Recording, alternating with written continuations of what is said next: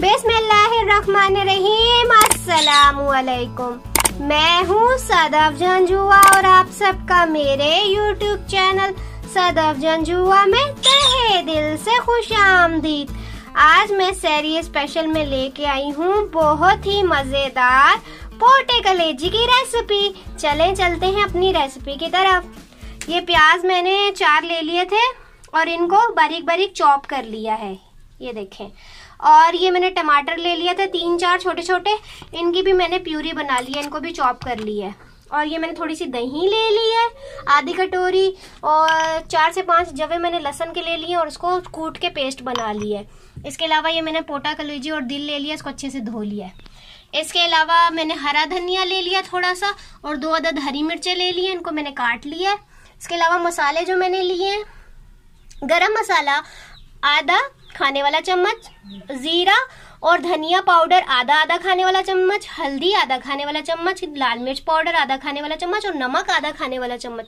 नमक, मिर्च मसाले आप अपनी मर्ज़ी से कम या ज़्यादा कर सकते हैं। चले हम अपनी पोटा कलेजी बनाना शुरू करते हैं। ये अब मैंने ऑयल गरम कर लिया है और ये जो प्याज मैंने आपको बताया था, चॉप करके रखे हैं, सारे मैं इसमें डाल दूँगी। प्याज डाल के, अब मैंने लहसन डाल दिया, अब इसको थोड़ा सा भून लेंगे, फिर इसको मसाला डाल के मजीद भूनेंगे। ये जो मैंने आपको मसाले बताए थे, ये सारे बीच में डाल दूँगी। और इसको अच्छे से भून लेंगे।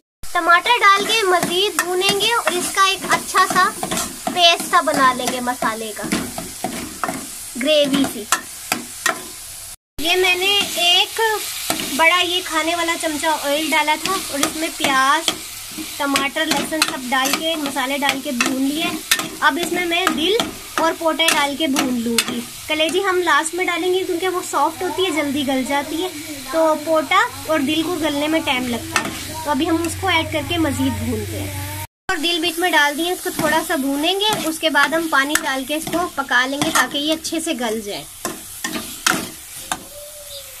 अच्छा ये पाँच चम्मच मैंने पानी पोटो में डाल दिया है और अब मैं इसको हल्की आँच पर ढक्कन ढक के पकाऊँगी ताकि पोटे अच्छे से गल जाएँ। फिर हम इसका पानी खुशक करके इसको अच्छे से भून लेंगे। ये देखें, बिल्कुल बीच में डूब गए हैं, इतना पानी डला हुआ है। अब मैंने थोड़ी आँच तेज़ कर दी है ताकि हमारा पानी खुशक हो जाए। उसके बाद फिर हम कलेजी डाल के इसको भून लेंगे और फिर दही ऐड करेंगे और मज़ीद पका लेंगे। पानी हमारा तकरीबन तकरीबन सूख गया है और इसमें मैंने बाद में आधा चमचा कश्मीरी लाल मिर्ची डाली है कलर के लिए और अब मैं इसमें कलेजी ऐड करके इसको मज़ीद पका लूँगी। कलेजी ऐड कर दी है मैंने अब मैंने दही भी ऐड कर दी है। आधी कटोरी हमारी दही थी अब इसको हम मज़ीद पका देंगे। हम इसको इतना पकाएँगे कि ये अच्छे से इसको भून लेंगे और इसका पानी दही का पा, दही पानी छोड़ती है इसका हमने पानी खुशक करना है।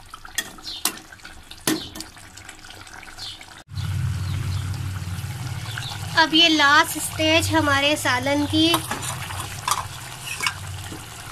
देखिए, पानी खुश्क हो चुका है। कितना ज़बरदस्त मसाला नज़र आ रहा है। अब हम इसमें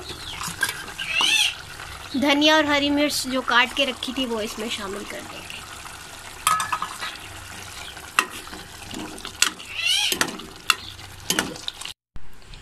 आज सैरी स्पेशल में मैंने आपके साथ बहुत ही मज़ेदार पोटा कलेजी की रेसिपी शेयर की है।